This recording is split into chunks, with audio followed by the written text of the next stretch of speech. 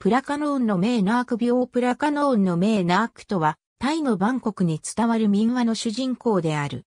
名ナークという人物は、地元バンコクでは実在の人物と考えられており、その死後、夫恋しさのあまりにピーとなって現れ、プラカノーンの村に災いをもたらしたとされている。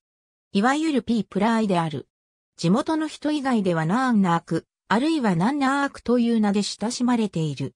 ナークの骨が捨てられたとされるワット・マハーブット前の運河話の舞台は着利王朝初期である。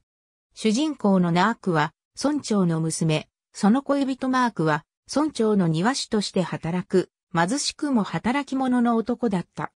二人の恋は夜の営みを行うまでになったが、そのことを聞いた村長は娘を庭師から遠ざけるようになり、金持ちの中国人と娘の縁談を進めた。それを知ったナークは家出をして、マークと結婚した。その後ナークは妊娠するが、時を同じくして、マークは徴兵されることとなり村から出ることとなった。その際、親友のトゥイと老夫婦のター、ミーとヤイマーにナークの面倒を見させることとなった。その後ナークは産気づいたが、ター、ミート、ヤーマーの助産も虚しく、難産でお腹の子供死亡した。ピープライになるのを恐れ、ター、ミート、ヤーマーは、ナークを手厚く葬った。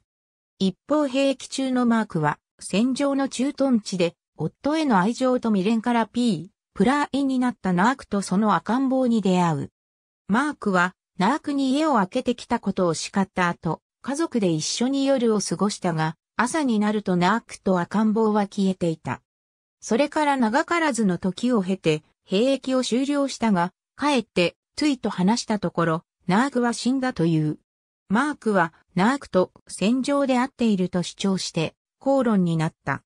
マークと、トゥイがマークの家に行くと何事もなかったかのようにナークは家で仕事をしていた。マークは、トゥイから、あれは P で、呪い殺されると忠告を受けたが、それを聞いたナークは、反対に、トゥイは、私とマークの間を裂こうとしていると言い返した。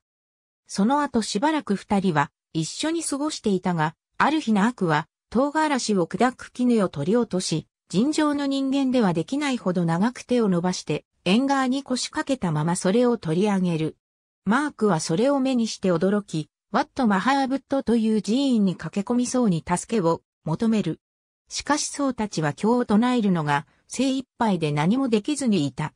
その間にもナークはどんどん凶暴になっていき、近づいた人を手当たり次第呪い殺した。その時、どこからともなく、ネーンチューと呼ばれる高徳で霊感の強い少年像が現れ、ナークを退治した。その骨は骨壺に収められ、運河に投げ捨てられた。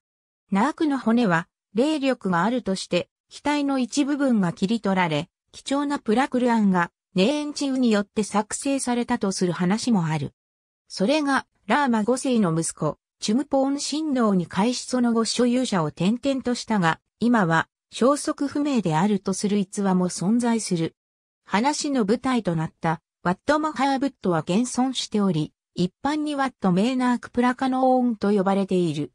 所在地はバンコクのスワンルワン区であり、村ではなくバンコクの市街地の中に紛れ込んでいる。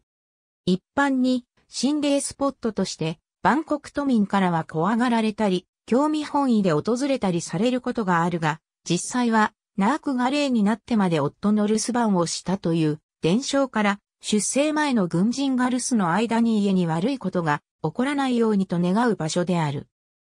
物語本体は怪談ではあるが、モームルワン・マーニット・チムサイが、その著作、 Thai Folktale でこの物語を紹介し副題として、 Or Love Never Dies と称しており、また、タイのユーロビートグループシャムミレニアムが、ナンナークという曲の中でナークのマークに対する愛を歌っていることなどからわかるように、夫に対する愛情のあまり、幽霊となって出てきたという、切ない恋愛という要素も大きな主題となっている。